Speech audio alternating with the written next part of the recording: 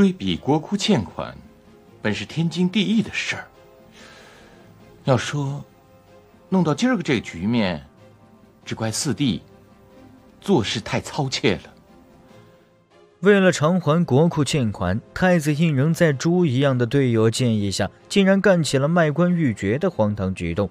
只是太子胤禛似乎忘了，吏部尚书奎旭乃是八爷党的坚定成员。这样一个足以让太子胤禛彻底凉透的大好机会，皇八子胤祀怎能放过？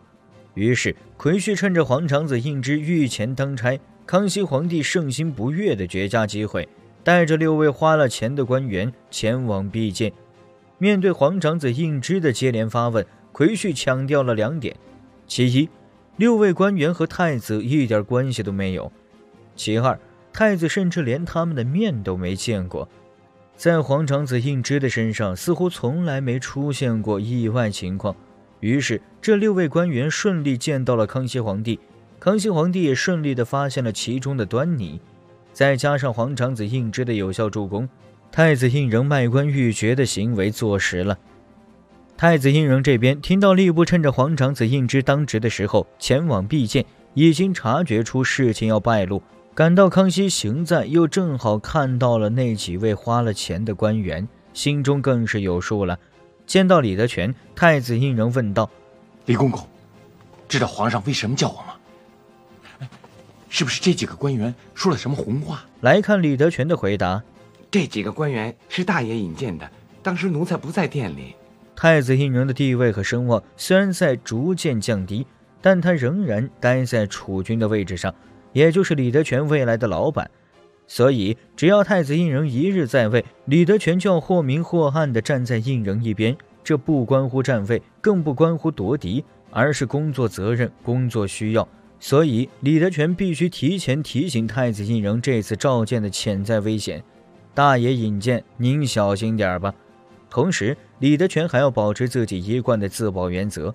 奴才不在店里，这件事儿和我无关。来到御前，慌乱的表情、紧张的站立，已经出卖了太子胤禛，也足以让康熙皇帝明确太子胤禛确实干出了卖官鬻爵的荒唐举动。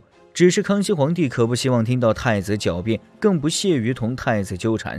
他只是希望太子能够主动承认错误而已。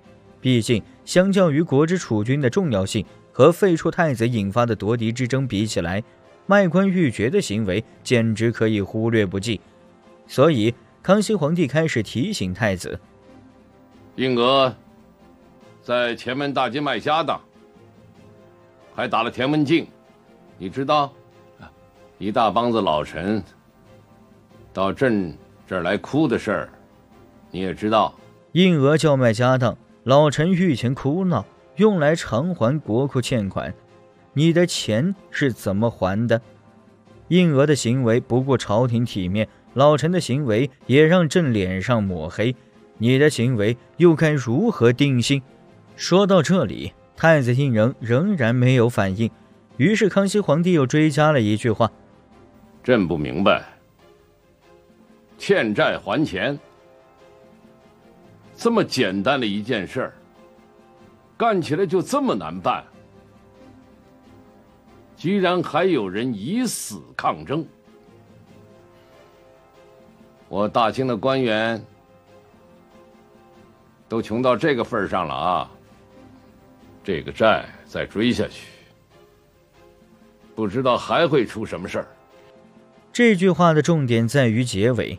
这个债再追下去，不知道还会出什么事儿，会不会有人卖官鬻爵，用以偿还国库欠款呢？只是太子错会了康熙皇帝的敲打，一股脑的将过错推到了皇四子胤禛和田文镜的身上。皇阿玛圣明，追比国库欠款，本是天经地义的事儿。要说，弄到今儿个这个局面，只怪四弟做事太操切了。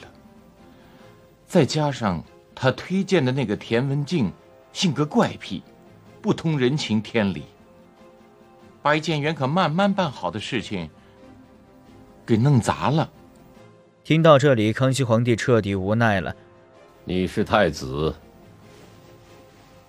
底下人做的不对，你说说嘛。底下人做的不对，你身为储君又做的什么事儿呢？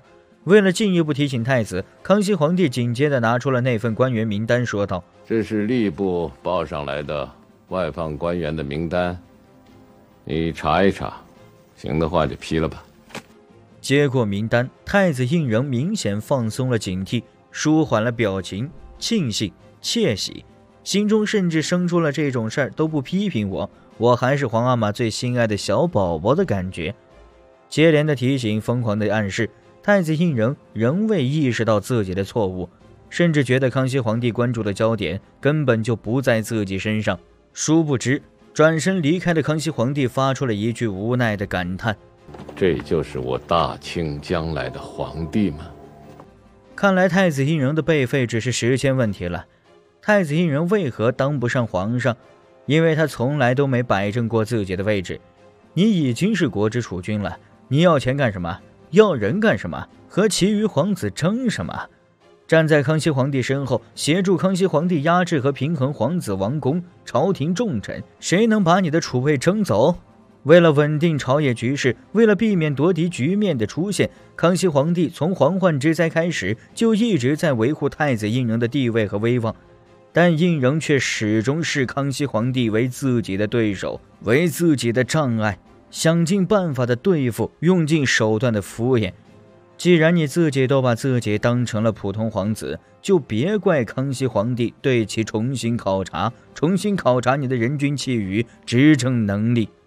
就卖官鬻爵这件事儿而言，太子胤禛已经明确事情败露，却只因为康熙皇帝没有明确训斥，就心生侥幸，甚至推脱罪责。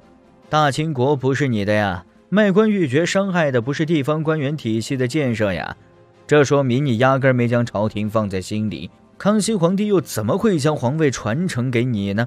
此时的太子胤禛已经不值得康熙皇帝挽救了。我是龙哥，带你换种视角解析雍正王朝。喜欢请点个关注，更多精彩分析持续更新中。